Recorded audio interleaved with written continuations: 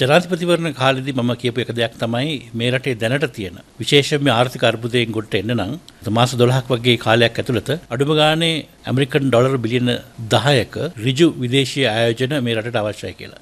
ඒ වගේම මම ප්‍රකාශ කරා එයින් බිලියන හතරක් පමණ මම ඒ වෙනකොට පොරොන්දු කරගෙන තියෙනවා කියලා මගේ නායකත්වය යටතේ මේ රටේ ආයෝජන හැටියට ගෙන්න ගන්න.